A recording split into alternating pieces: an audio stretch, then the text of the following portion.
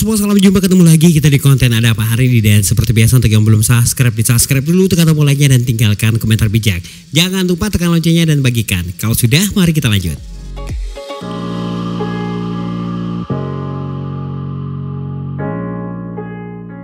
Baik teman-teman netizen yang luar biasa Assalamualaikum warahmatullahi wabarakatuh Salam sejahtera untuk kalian semua Dan semoga saja limpahan keberkahan dan keberuntungan Terus diberikan Tuhan Yang Maha Kuasa Pemilik langit, bumi, dan solusinya.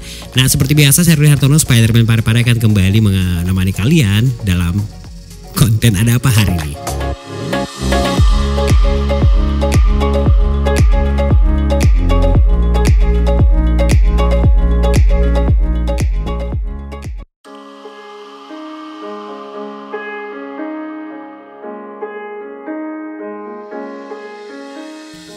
teman-teman netizen yang luar biasa. Perjalanan pertama kita untuk hari ini adalah menuju ke Kabupaten Entrekang Ini ada uh, apa nih peringatan Hari Santri Nasional. Ah, Dan ini di Kabupaten Entrekang Sulawesi Selatan Tepatnya di Marangin Kecamatan Mewah. Nah ini juga dilakukan eh, apa ya em, di pondok pesantren modern Rahmatul Asri. Jadi jalurnya itu mereka tuh eh, ada ada apa namanya eh, defile ataupun eh, kayak karnaval gitu, mulai dari pondok pesantren modern Rahmatul Asri menuju ke eh, lapangan Lansa Gaga Marwangin. Itu ada lapangan yang eh, legend banget di Marwangin yang sekarang sudah dipermak dan sudah di, di, di, di, di- di- apa namanya ditata ulang dan direnovasi. Sekarang tempatnya udah bagus banget ya. Ada lapangan eh, basketnya, ada aulanya, pokoknya keren ya.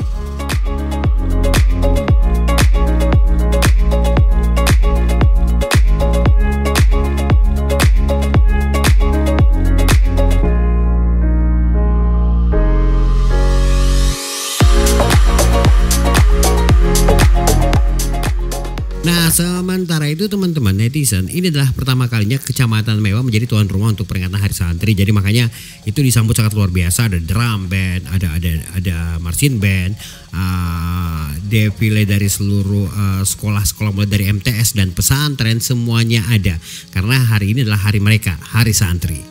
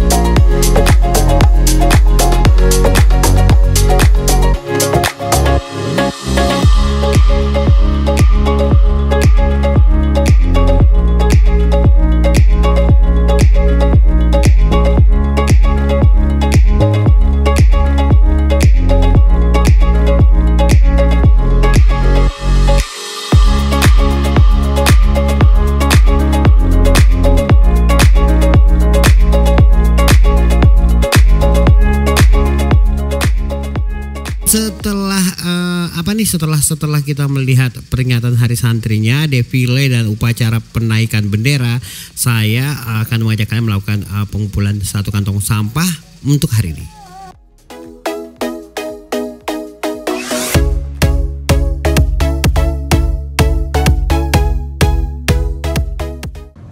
Halo semuanya, salam jumpa. Ketemu lagi kita hari ini. Seperti biasa, nih kita mau ngumpulin ini semua nih teman-teman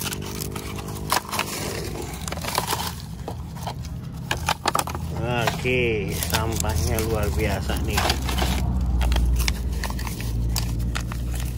Sore ini ya kita harapannya bisa ngumpulin satu kantung ya.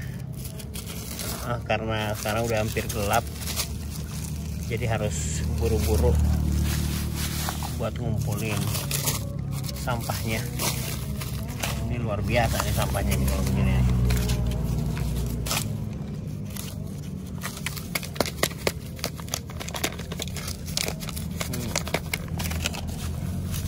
sampah berpasir.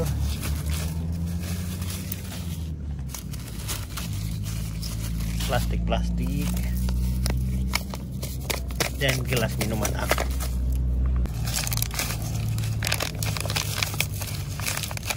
Ini kita harus misahin pasirnya ya pasirnya banyak banget ya asli oh, udah maghrib lagi. Kita harus buru-buru nih teman-teman ini belum cukup satu kantung lagi ya. Telat kita mulainya tadi. Ah. Kita harus secepatnya. Ini celana siapa lagi nih?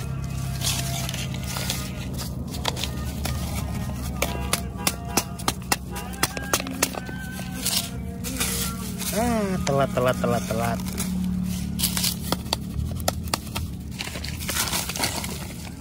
harus cepat-cepat kita nih teman.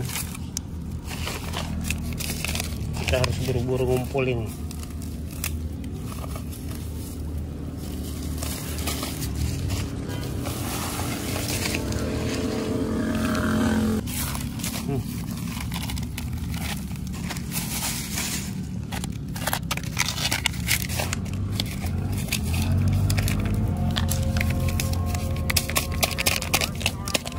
maghrib lagi. Ayo cepat dikit lagi. Dikit lagi dikit lagi dikit lagi. Bentar lagi ya?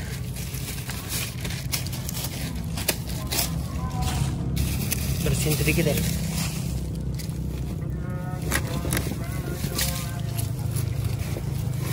Ini cepat penuh kalau pak. Pakai ini nih? Lagi ya oke dikit lagi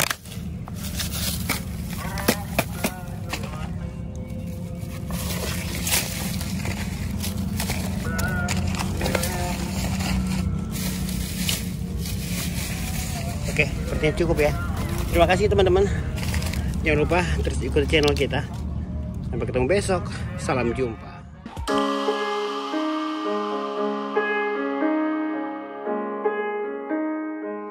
Nah teman-teman uh, setelah uh, peringatan hari santri di malam harinya ada pementasan luar biasa di Pondok Pesantren Rahmatul Asri.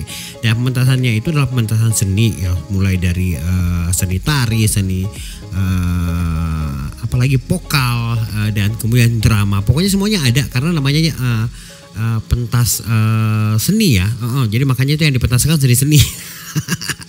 ya sudah jelas lah.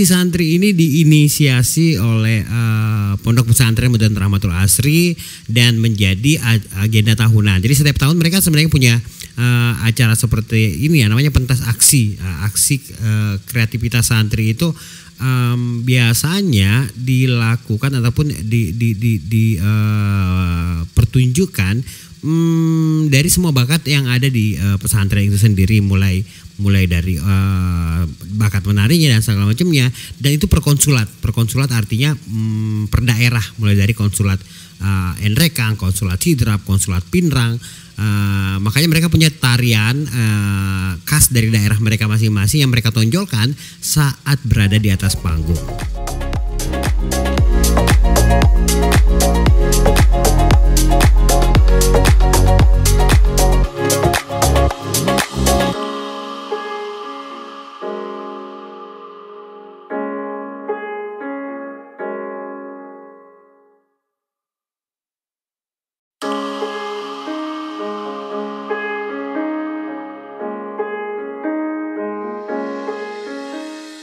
Nah tentunya acara ini sangat keren ya. Saya saya saja misalnya kalau tahu bakal ada acara seperti ini, bakal langsung menuju Endrekang pokoknya.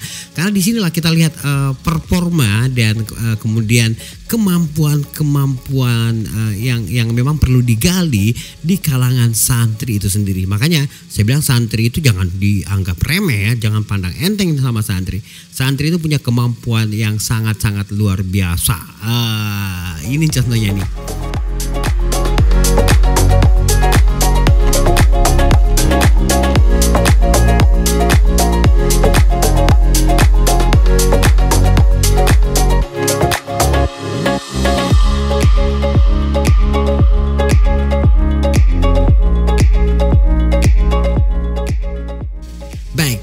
Sepertinya untuk episode kali ini cukup. Sekian dulu jangan lupa subscribe sebagai bentuk dukungan kalian pada kanal ini. Sampai ketemu besok dan salam jumpa